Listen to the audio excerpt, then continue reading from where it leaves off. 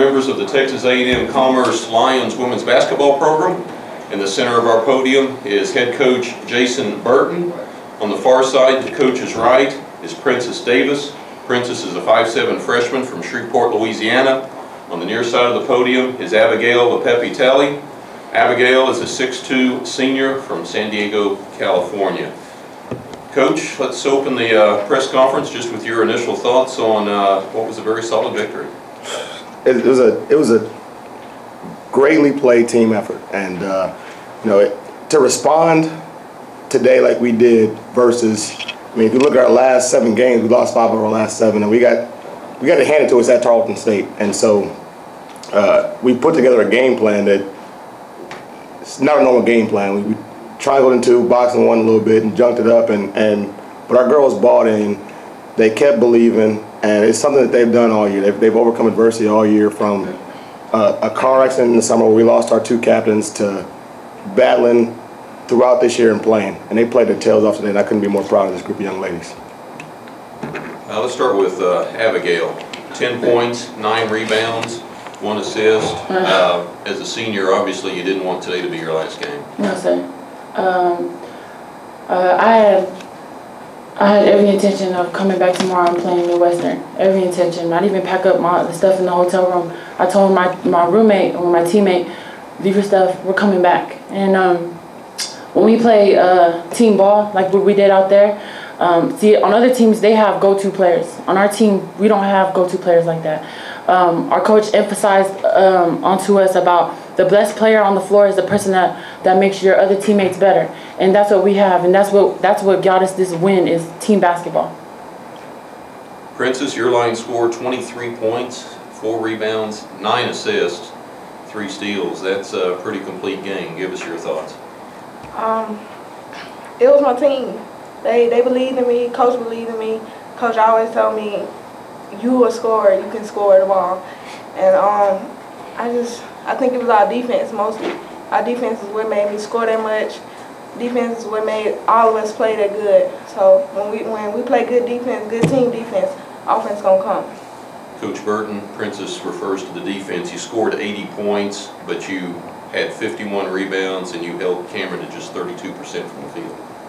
That was a big focus. Um, we we knew we got to score the ball today, and we knew Jasmine Robinson was going to score. She's she's a phenomenal scorer, phenomenal player. So you got to pick and choose who's going to score. You know she's going to score. We want to make sure Leal and, and Hurl don't get off from three. I mean, they, they do such a good job of stretching the floor out, and then their, their other guards attack. And, and we, we decided to kind of pack the paint a little bit and, and force Robinson to shoot some jump shots. We knew she was going to make some. She, she made a lot more than we wanted her to, but they bought into the defense. And, and to have a freshman score 23 points and then have a career high in assists, nine assists versus a very good team. I mean, uh, she didn't get those assists if other people aren't playing and making baskets. And, and they played confident tonight, um, and and quick turnaround though. We got we got to got to go home, hydrate, and play a very good Midwestern team. Let's talk about what you just alluded to, the fact that you play back-to-back and the potential of playing three games in three days.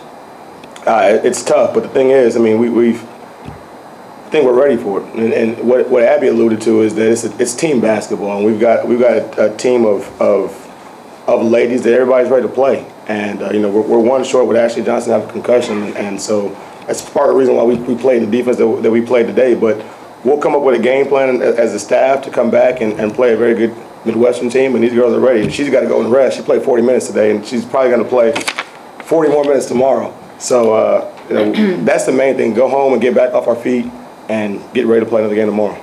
Questions for the Lions? Can you, can you elaborate on uh, Artesia Gay's 18 points, uh, outplayed, beat him in the paint 30-24. Can you elaborate on her performance? She's not here with us, but another freshman. Yeah, I mean, our two freshmen are, our two leading scorers tonight, and that's the thing about this team is that the, the, the, games that we're best, we have multiple people scoring a lot of points. That's when we're playing our best basketball, and didn't play as many people as many minutes today. We kind of we kind of shortened the rotation, and two freshmen stepped up. They're two special players.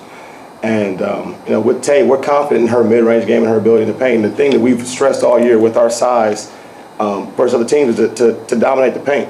You know, we, we pride ourselves on having more points in the paint than other teams. We pride ourselves on on really defending and, and getting rebounds and, and, and, limiting them to one shot. We, we wanted we wanted to lead the league in rebounding this year, and did for a big part of the big part of the year. And so Um, we had to use our size, and, and Tay being Tay was so flexible. She was she was good because she played the three and the four for us today, and I think she can create some mismatch problems at the three. Just being being uh, a big three that can get have a smaller guard guarding them.